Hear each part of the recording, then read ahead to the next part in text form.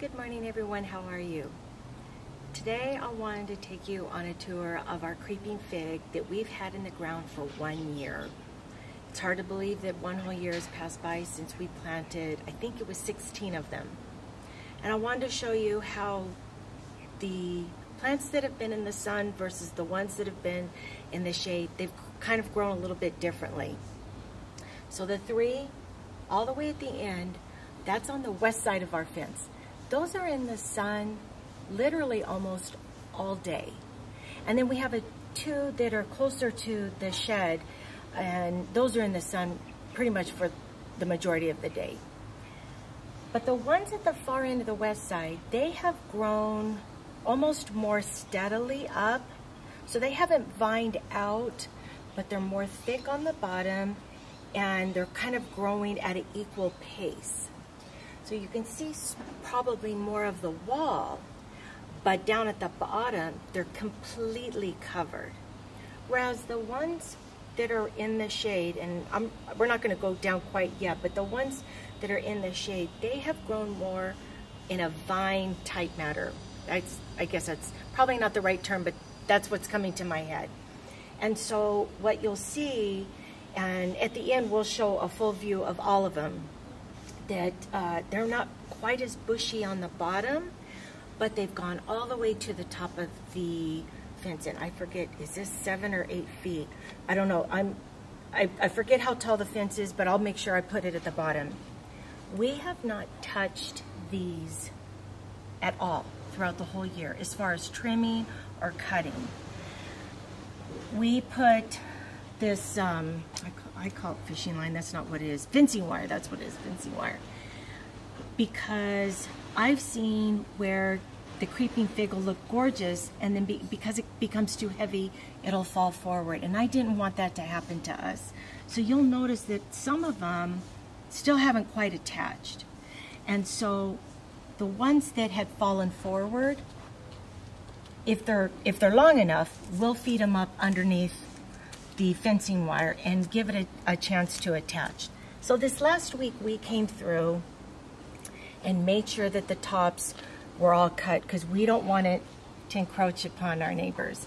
And there's a business on the other side of it, uh, of, on the other side of our fence, but we still don't want it to grow over on their side. This last week when we cut the top off, we came through and sheared the side. So as you see coming down, we've tried to keep it pretty close to the fence. The majority of these are in the shade. So it's funny how they've covered, like take for instance this one, almost the entire length of the, or the width or not length, height. Sorry, I'm gonna get it right. The entire height of the wall, but they're in the shade all day. Uh, they all get equal water. And actually here in Central California, because of our strict water guidelines, so during the winter, these only got water once a week. And uh, we water in the morning and in the evening, and then I think it was April, we were able to switch it to three times a week. Thank goodness, because we're gonna have some 80s and 90s here in about 10 days. And then I wanted to also say this last week we fertilized them for the first time. So when we planted them, we put biotone in. And then we had not fertilized them at all until just, I think it was a week, week and a half ago, when we came through and did all the trimming. You'll see that there are many pieces of the creeping fig that haven't attached. So throughout the year, when I see pieces like this that are hanging out, instead of cutting them, if they are long enough, I will try and take it and feed it under here like this. Oh, I'll get it here, hang on. And that way, because I don't want to lose that. I want, I want to keep it, you know, so it'll hopefully attach to the wall. So if it's long enough, I will feed it through the line.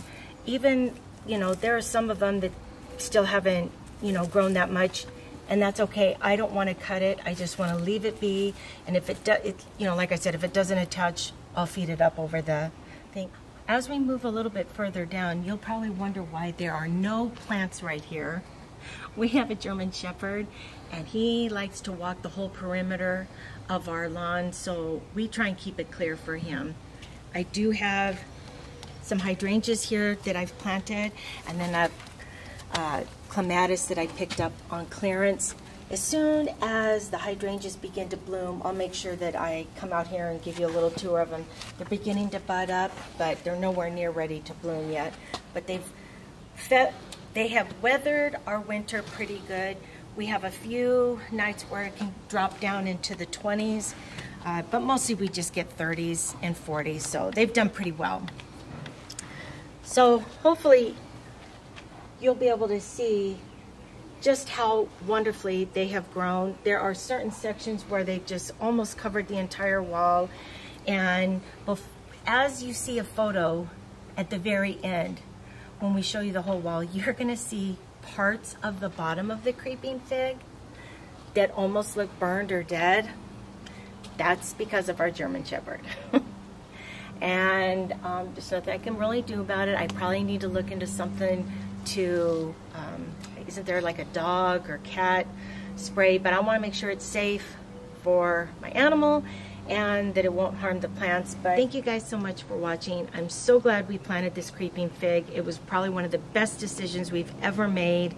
I hope that if you guys um, are looking to cover something that this is something you would consider because it's been a great performer for us and I garden in zone 9 and we're coming up on summer here uh, just within a few weeks, and we will easily have 100 plus temperatures for minimum four months. and so these have done amazing for the level of heat that we get. I hope you guys are having a really great weekend and we'll see you soon. Bye.